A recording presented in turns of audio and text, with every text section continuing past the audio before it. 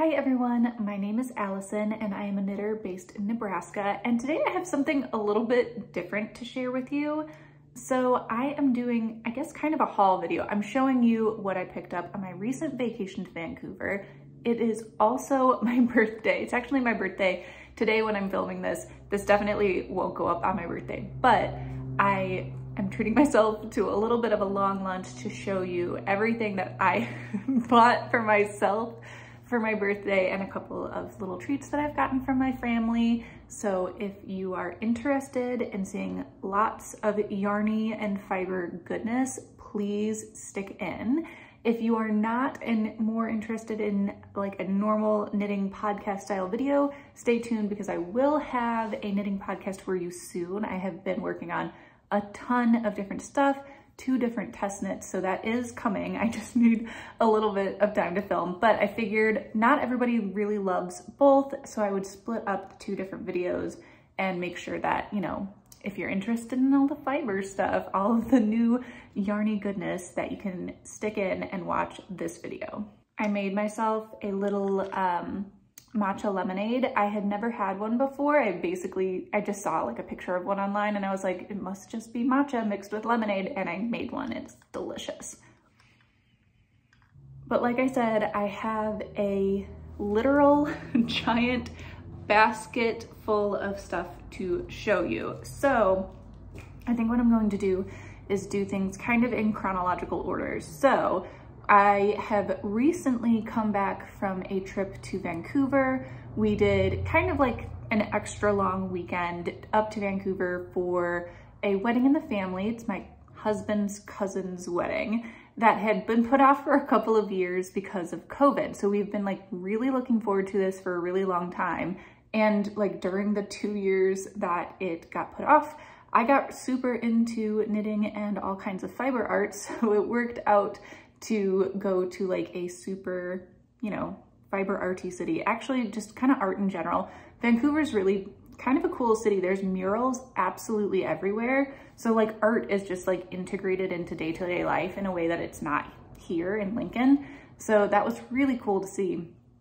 But we went to Vancouver with my husband's family and his mom, Nancy, is also super into knitting. So we made a real point to check out a lot of knit shops. So I will show you what we did in order. Okay, so I have everything from my basket is organized around me loosely in order. If, if you've seen any of my previous videos, you might be like, where is she?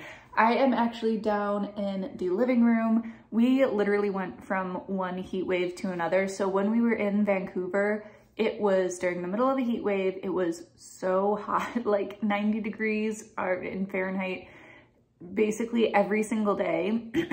and not a lot of places have air conditioning. We actually really lucked out uh, that our Airbnb had air conditioning because that would have been brutal to try to sleep through. But we went from it being like 90 degrees every day and pretty hot for like wedding activities there in Vancouver back home to it being 100 degrees every day. So I am not sitting in the attic. It is just way, way too hot up there but you can enjoy my very much unfinished living room. If you haven't watched any of my, oh boy, hold on. That was some sass. My cat just um, punched his way through that door there. You wanna go over here? He heard me talking and wanted to be involved. Anyway, I'm downstairs. I am all spread out and I will show you everything that I picked up in Vancouver.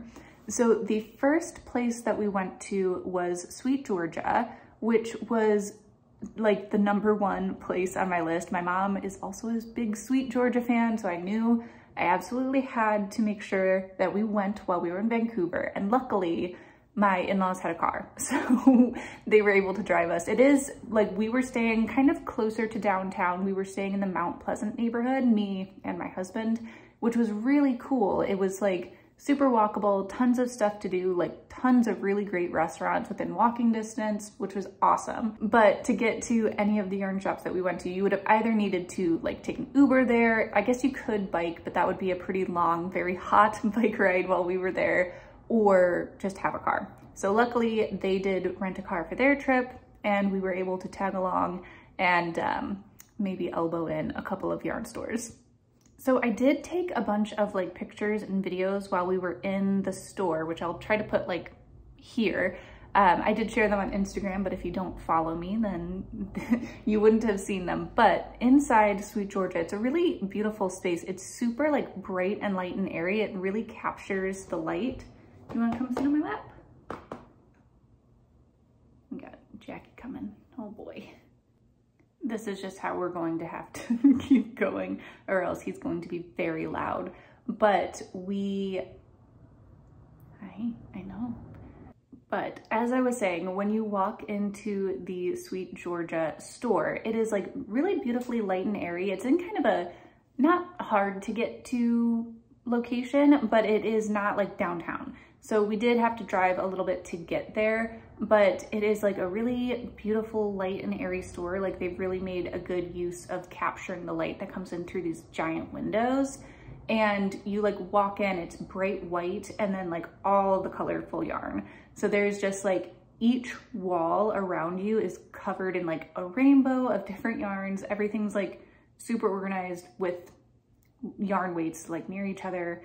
Um, all of like the tough love sock yarn is on one wall. And it really is just like a really nice store. It's very pretty. It's very Instagrammable. And we did eh, a bit of damage. so the first thing that I got were, whoops, I got two skeins of their merino silk lace yarn in the shade Oxblood and it looks like it's showing up a little bit darker on screen than it is in real life. It's kind of like a muted oxblood in my eyes, and it is a 50% fine merino, 50% cultivated silk yarn, and each skein is 765 yards. So that's quite, I mean, that's enough for me to get a full sweater out of this. And actually, what I had done previously, like before we left on the trip, I knew that I would want to get at least like one sweater quantity worth of yarn while we were there, but I wasn't sure exactly what I would want. So essentially what I did is I created a notes app on my phone with like quite a lot, actually, quite a few different patterns that I have been like thinking about wanting to knit lately. So I just pulled in like a picture of that pattern and then what is the, the name of it? And how many yards of what kind of weight of yarn that I would need to make it in my size. So that I knew like if I'm shopping around that I'm going to need however much bulky yarn, however much fingering weight yarn, so that I'm not buying things willy-nilly and that I'm making sure that I actually buy enough. Because especially for like souvenir yarn, you don't want to get back and then like it turns out that you don't have enough to make the project that you had in mind or that you have like way, way, way too much and you, you know, spent money that you didn't need to on yarn that you're not gonna use. So I did that in advance. I didn't honestly really use it that much. It didn't end up being as helpful as I had thought. So I did pick this up with one or two sweaters in mind and I am going to be holding it double with mohair and I have to like gauge swatch, you know, all those things. But it should be enough of a sweater quantity to make either the Bookish cardigan or the Augustins, I believe, number one. And I really like this one particular version that I've seen that somebody knit in green. And essentially they just omitted like the front frills. So on that sweater, there's like a textured panel in the front and then they put like frills on either side of the panel. And I really like how it looks without those frills. So I think that it could look really cute for either. I haven't decided exactly which one I want to do yet. I very much need to like clear my needles before I start another sweater project. So I have a little bit of time to decide exactly what I want to do with this. But this was like one of the first yarns that I like found and touched in the store. It is unbelievably soft. It is so soft to the touch. Like there's no it's not like there's no texture, but there's nothing like rough about it at all because it is merino and it's silk. It has a little bit of shine to it. I think it's going to make a really, really beautiful sweater. And I also really like this color for like autumn and winter. I think it'll be a beautiful piece. And I think the mixture of like a lace weight yarn with a mohair, it's still gonna be like nice and light. It, like it, the sweater itself, the material probably won't be like super thick, which works for me because I do run warm. The other thing that I wanted to make sure that I was on the lookout for while we were on vacation was some sock yarn because I love to knit socks. It's also a really, I think it's a, like the perfect souvenir yarn because you only need one skein to make a pair of socks it really doesn't take up much, that much like space and you can get something that's in like a fun color or a fun, you know, different texture pattern than what you would normally do. and I did the, totally the opposite of that. So like this is the Oxblood uh, merino silk lace yarn and this is the sock yarn I picked up. It is a different colorway. This is the candy apple color on their mohair silk sock yarn. This is a very interesting sock yarn. It is 50% superwash merino, 15% silk, 15% mohair, and 20% nylon. So it really should be like super sturdy between the nylon and the silk and the mohair even. All of that combined should make like a really soft, really nice pair of socks. So like I said, this is in the shade Candy Apple. It's super similar on this end to the Oxblood shade, but then down on this end, it's a little bit more orangey, a little bit more um, of like a warmer toned red and then a cooler toned red on this side. I think this is just gonna make like the prettiest pair super autumnal socks. I do really like this because there's like a little bit of variation in the skein. Like we're gonna get a little bit of different colors in it, but it's also not like super variegated. I super don't like variegated yarn. It's not my jam, not my style. So you will see basically nothing that I bought is going to be variegated because I just don't like that. But this is like as close as I will go to a multicolored yarn. Now the last thing that I got does need like a slight bit of pre-explanation and it's that I got for my birthday a couple of drop spindles. So it's something I told my husband and mom and mother-in-law that I would like uh, for my birthday this year is I wanted to explore drop spindle, drop spindle spinning.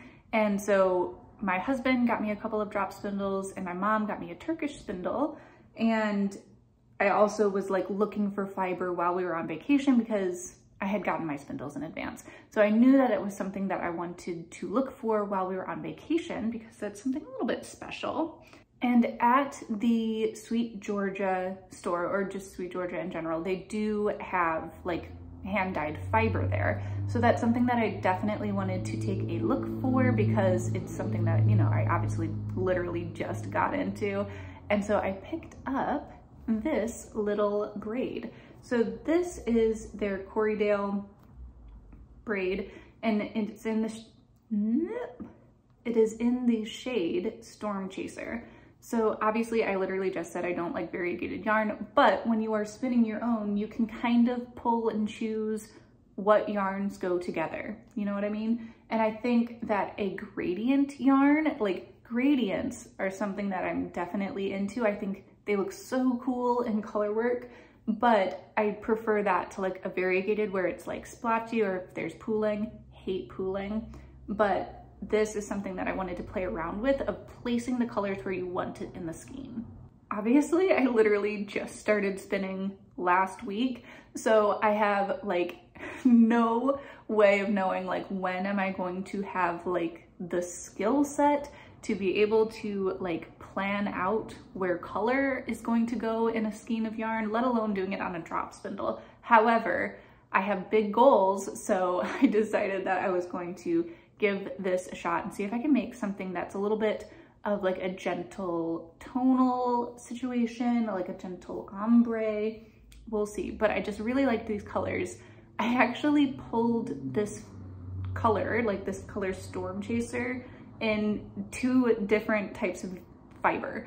So they have all of their fibers like in the same area and they have a couple of different blends. So they have this Corriedale, I think they have like a BFL and silk mix maybe. I think they have Targhee. I'm not, I don't really remember exactly all of the different types of fiber that they have, but they do, they have them all in like the same area. And so I was look, looking at the different types of fiber and I like pulled this one and then I pulled another one and they were in different types of fiber and it was the exact same colorway. So I was like, well, I guess I'm gonna have to get it. So I got it in the Corriedale as I believe that I saw somewhere that it's a good type of fiber for like beginner spinners.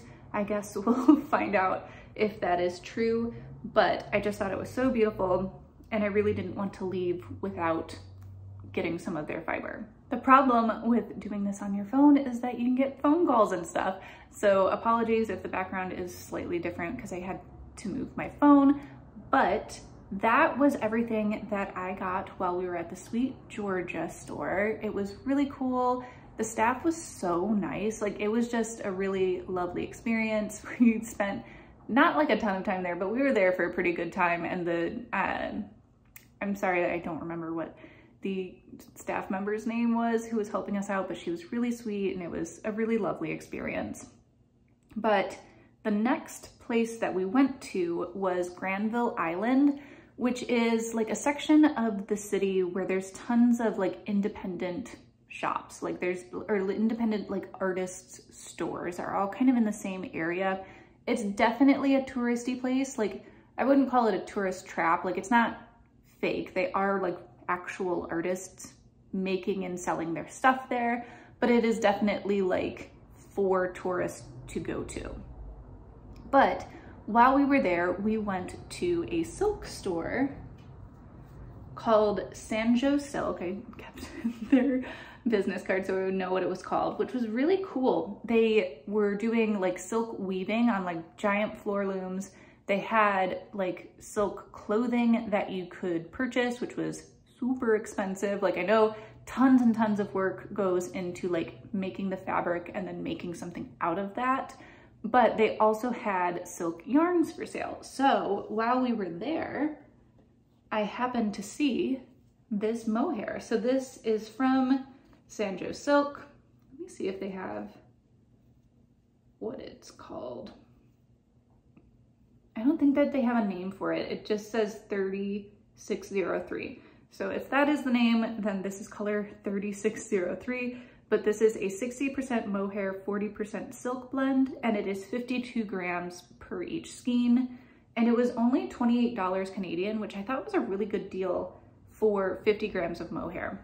So this is a really beautiful, like dark burgundy purple shade that I saw and was like, this would be a perfect mix to make this very slightly darker and hold it together with mohair. So I just thought that this was so beautiful. It's really, really soft. Like, I know mohair is always really soft, but I have had hand-dyed mohair before that was like kind of crunchy, but there was like a stiffness to it that I didn't really love. But this being hand-dyed mohair is really, really soft. Like the fiber is really, really soft. I think it's going to work really beautifully for like an autumnal, fall, winter sweater with all of these together. I think this should be enough. It's a little bit over 100 grams of mohair, which I think should be fine because I do most of my sweaters a little bit cropped, but I think that will be really, really beautiful. But while we were also on Granville Island, we went to a store called Maiwa, M-A-I-W-A. I'm not sure if I'm pronouncing that correctly, which is kind of like an import store. Like everything for the most part, I think was from India. They had like a lot of like dyeing kits where you could do your own indigo dye, do your own like walnut dye, lots of like natural dyeing kits, lots of um, plain linen fabric and like cotton tablecloths and stuff. Like they had things that you could dye on as well as fabric and like bedding. It was like lots of different stuff all in the same store, which I thought was pretty cool.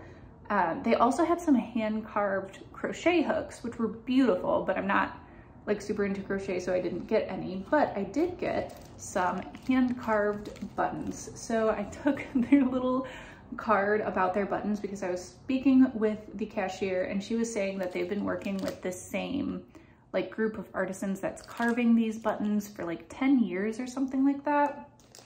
And these, all of the buttons that I got are um, made out of recycled wood. Let's see what they say here. So they say that the hand carved buttons are from uh, craftsmen in Nepal. Some of them are wood, some of them are horn and bone from domestic animals, mostly water buffalo, which have died of natural causes.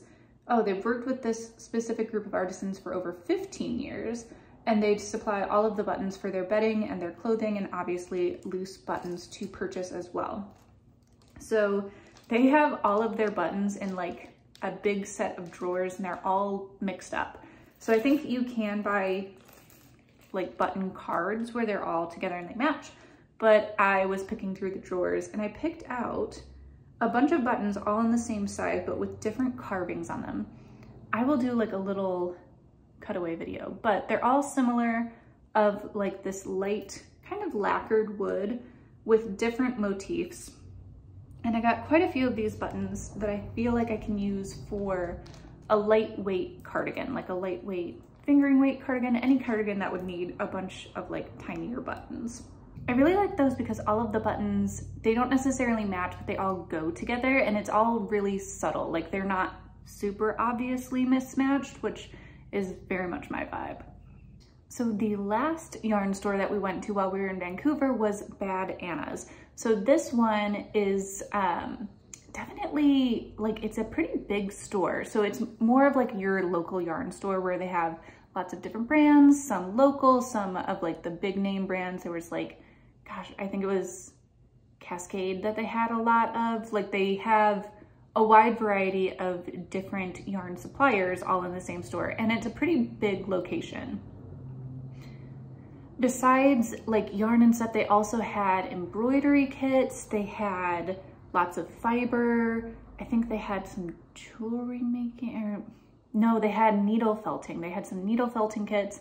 So like lots of different craft supplies all within like the fiber world. So Baaad Anna's definitely had a lot of like the more, not commercial, but like bigger named brands that are really easy to get. So I was specifically looking for what are brands that are going to be harder for me to access while I'm at home.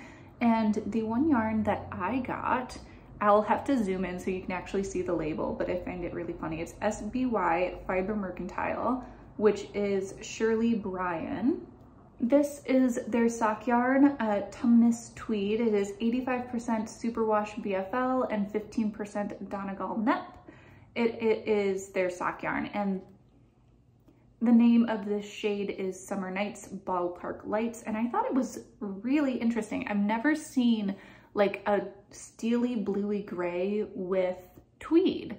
I have knit a pair of socks with like a tweed sock yarn before, and it is like full fall vibes. It is very like cozy. It makes you want to like curl up next to a fire with a good book or maybe like put on a pair of hiking boots or something like a fall activity needs to happen in a pair of tweed socks. But I thought that this was a really cool color to mix with the tweed and it has both white and black and kind of like a brownie mix with the tweed, which I think, hmm, can you see?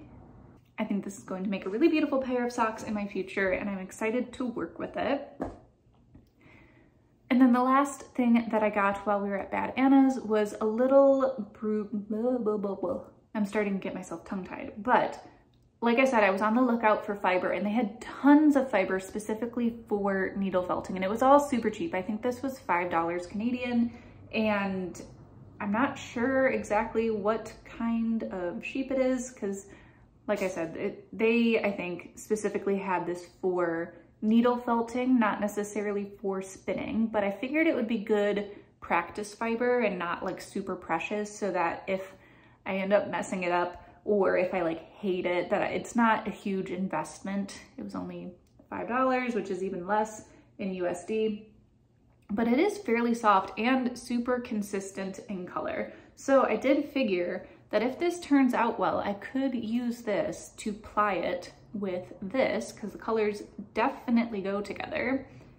and it could like center or ground this a little bit more by having that consistent shade next to it.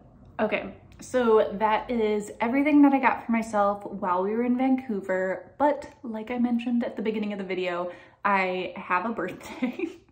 it has recently been my 30th birthday actually, and I told my husband who worked with my mom and my mother-in-law to kind of coordinate um, what I would like for my birthday, which was to get into drop spindles. So let me show you everything kind of, I'm gonna show like things together. So first thing is my husband got me a couple of drop spindles. You can see that I have already been practicing. Uh, he got these from a maker on Etsy. I will have to put their name somewhere on the screen because I don't remember it off the top of my head.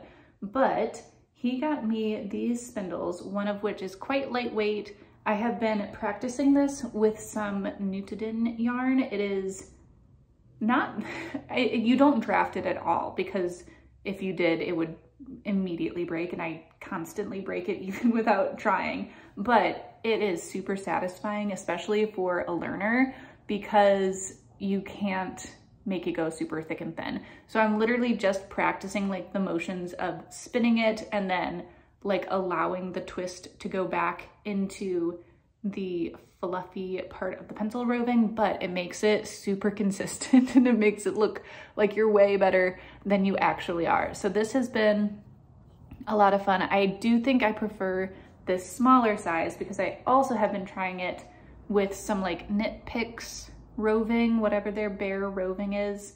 On the larger spindle, it's a little bit heavier. I definitely have a more difficult time getting this going and keeping it going. I'm also really having a hard time learning how to draft it. Like you can even see, I'm like really struggling to make it pull apart. So that is something that I definitely need to learn more of but I'm trying to get a relatively consistent spin. You can see it is a little bit thick and thin, but it's not terrible for my first real shot at spinning. My mom and I actually took a drop spinning class at a local yarn store when I was 10 maybe? I was pretty young, so I haven't touched it in two decades. That's crazy but I really wanted to give it a shot this year. And along with those two drop spindles, my mom also got me a little Turkish spindle. And this one is, again, I'm gonna have to see if I can find the name of it. It is actually printed on the bottom here. I just can't read it because it's in cursive. It may be Snyder. Yeah, it's Snyder. So this, it says 25 grams. This is a little drop spindle, uh, a Turkish spindle, I should say that comes apart and goes together really easily. I am really excited to give this a whirl. Ugh, what a pun. But I think that Turkish spindles are just really cute. And the yarn that you create on them is called turtles because it looks like little turtles with the legs coming out of it. And I just find that so charming. So I'm not sure, I need a little bit more um, I need to watch some videos before I start the Turkish spindle because I did watch a bunch on the regular drop spindle with the top whorl before I got started. I already had like kind of that knowledge in the back of my brain just from seeing those videos in the last few months, but I definitely need to give a little bit more research to the Turkish spindle before I start on this. So if you are somebody who spins and you have recommendations on how to learn without going to a class, I don't think either of the local yarn, yarn stores. Lord, where did that accent come from? But I don't think any of the local yarn stores here have spinning classes. I guess I should double check that. But I was thinking about maybe doing like the School of Sweet Georgia. I know that they have a couple of spinning classes. I don't know if any of them are specifically on drop spinning, but I have been watching videos from Jillian Eve as well as Soulful Spinning. Those are the two that I've found so far on YouTube who have like multiple spinning videos that are pretty clear and they like show what they're doing really well. So if you have any other recommendations, like please let me know, like what should I check out? What should I try to do virtually? Because I need some help, especially with like drafting and you know, just practice. I literally started this like a week ago. I'm doing my best to try to not get mad at myself for not being instantly perfect at it because because that is like my natural tendency. Like for example, I was working on both of these last night and was getting really frustrated with this one because I'm having a hard time drafting it and pulling the fibers apart. And so I just put it down for the evening and started working on this one. But I was really tired and I think I started spinning it the opposite direction. Um, and I'm really not sure how to even check for that. So I might pull it and I don't know. I don't know. I might wind like a little ball with this because this, as I said, I'm spinning this with um, some Nutiden yarn that came for free with my order. Like this was just like a little bundle of extras that was tossed in there, which is really, really nice. But it's also not something that, like I don't really know what I could even get out of this amount of yarn. So it is nice to practice spinning with. So those are the three spindles that I got. I also got a little bit of fiber that my mom sent along to me. So I got this one beautiful I don't know if this would be called a braid. I don't know all of the terminology. I'm like such a beginner with spinners. I'm such a beginner spinner, but this is some hand-dyed merino by Fab, Frabjous. What? I'm gonna have to Google this company. It looks like it should say Fabulous Fibers, but it's spelled F-R-A-B-J-O-U-S. Frabjous? Frabjous. I have no idea. But this is a really beautiful hand-dyed merino yarn for wet spinning, sorry, for hand spinning, wet felting, and other wool crafts. The name of the colorway is Tea, Toast, and Cake. It is like so lofty and soft and like open feeling. So this is definitely like really, really loose and open feeling as compared to like this from Sweet Georgia. I know that they're different yarns. So this is um, Merino, as I said, this is Corriedale. This feels like quite dense, like the fibers are much closer together, whereas this pink one is much looser. Like it feels like the fibers might actually be easier to draft, but this is just so many beautiful colors all together. Like I said, I'll probably see how I can make it into like an ombre. I just love all of these colors. Like a dark red, dark kind of plummy purple, a pink that's in between them, and a bright orangey red color. I think that's just beautiful. She also sent a little bundle of a much more like precious fiber mix.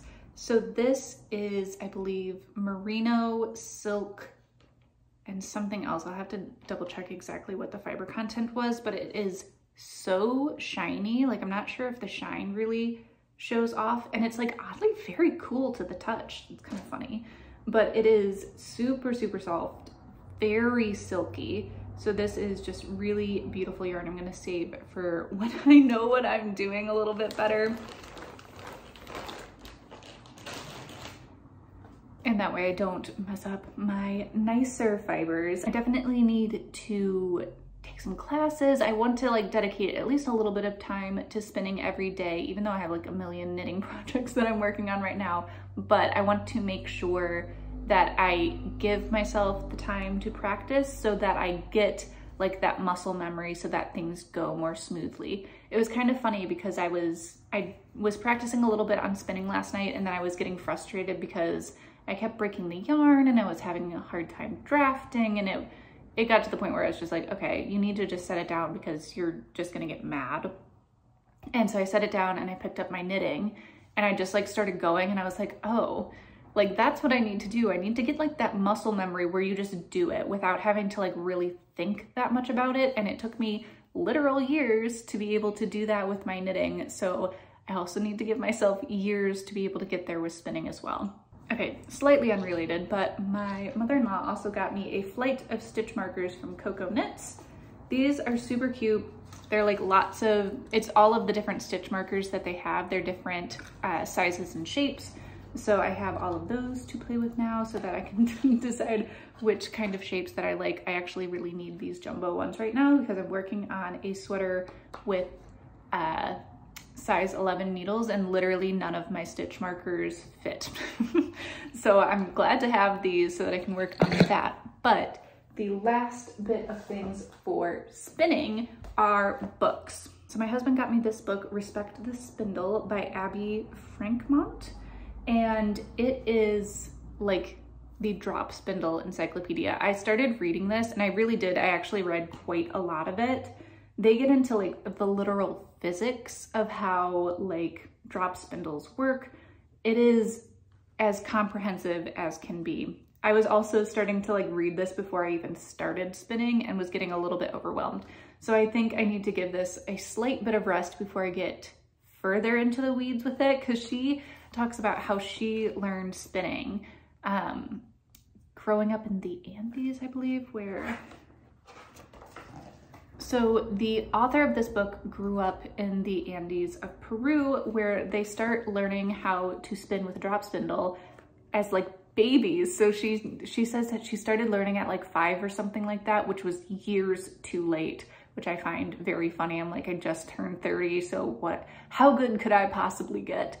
But she goes through like how it's like really a part of their culture. You do it everywhere, like how like some knitters take their knitting absolutely everywhere and they like knit while they're on walks and stuff like that. I don't do that, but she said that's basically how it is with spinning in the Andes. And like a lot of people do production spinning as like their work, like they sell their hand spun drop spindled yarn, which I think is wild. But she said, like once you really have that muscle memory down and you're able to do it like kind of anywhere, that it can be faster than spinning on a wheel. So that is very interesting information to have. I think like if you are looking to get into drop spinning, you kind of need to read this book. It is, like I said, extremely comprehensive. Tons, if you can see, of pictures throughout that are really beautiful, really well done. I'm gonna like go in here if you can see, like look how fine and thin they're able to get the yarn on drop spindles. I'm like one day, maybe, but like right now in comparison, mine looks like extraordinarily chunky. but one day I will get a little bit better at it. So this has been really interesting to read through. It's definitely something that I'm going to be able to reference a lot moving forward. My mom also picked me up a magazine called Spinoff. It's not a magazine that I've ever heard of before and I honestly haven't read it yet, but uh, it looks like there's a lot of interesting information on spinning and some patterns throughout it as well. Like this one is talking about spinning fiber from hairy sheep. Um, it gets into like carding. There's like lots of different spinning related content filled in this. Well, that's kind of cool. Like adding beads to bulky singles. Either way, like I said, haven't read this yet, but I got that from my mom. And then the last two things are knitting books. So both of these came to me from my mother-in-law. They are the Elizabeth Zimmermann books, uh, Knitting Workshop, and then The Opinionated Knitter.